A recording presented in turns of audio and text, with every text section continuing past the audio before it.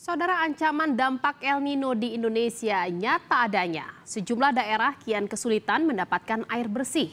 Di Kabupaten Puncak, Papua, enam orang meninggal dunia akibat kekeringan ekstrim.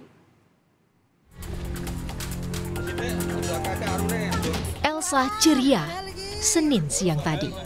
Untuk sementara, dia dan warga desa Penadaran, Kabupaten Grobogan, Jawa Tengah tak perlu ke hutan untuk mencari air bersih berkat bantuan Polsek Gubuk. Sudah sebulan, sumber resapan warga yang berada di pinggir hutan ini mengering. Di akhir Juli, warga yang terdampak kekeringan meluas ke dua dusun atau sekitar 80 keluarga. Itu dari sana, hutan. Dari hutan. Ya. Antri apa enggak, Bu? Antri.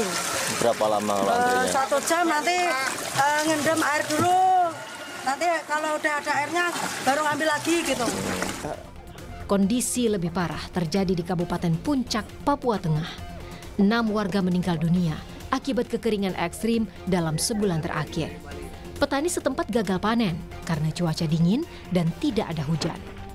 Kondisi ini diperparah dengan sulitnya memberikan bantuan makanan dan obat-obatan ke distrik Agan Dugume dan Lambewi karena gangguan keamanan. dan juga menarik tapi ada sesuatu yang mereka mencari hidup. Ada ibu satu yang sudah hamil yang besar dengan informasi bahwa apa namanya di Kuyawage itu ada bantuan mama dan itu dikira benar akhirnya dalam perjalanan dengan hamil besar ternyata harus melahirkan di jalan. Dan anaknya meninggal. Tetapi berasnya belum sampai di Aladome nah itu yang tadi saya dapat informasi. Ya mudah-mudahan itu kan suatu proses. Khususnya terhadap ketahanan pangan. Dan saya mendapat arahan dari Bapak Presiden langsung agar dalam rapat koordinasi tentang inflasi daerah sudah terjadi di Kabupaten Puncak. Di Kabupaten Puncak terjadi kekeringan, gagal panen, dan enam warga meninggal di sana.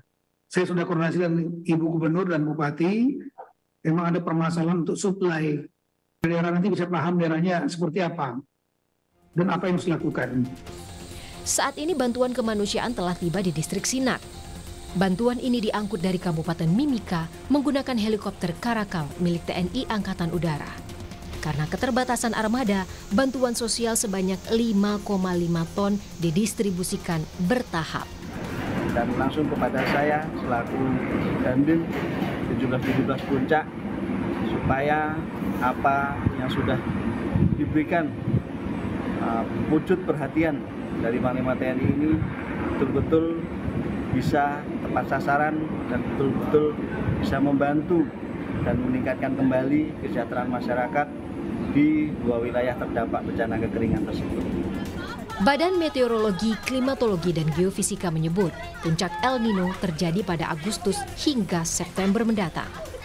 Meskipun El Nino kali ini memiliki intensitas lemah hingga moderat, tetapi tetap dikhawatirkan berdampak pada ketersediaan air dan produktivitas pangan.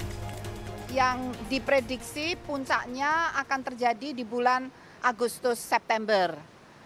Dan eh, diprediksi eh, El Nino ini intensitasnya lemah hingga moderat.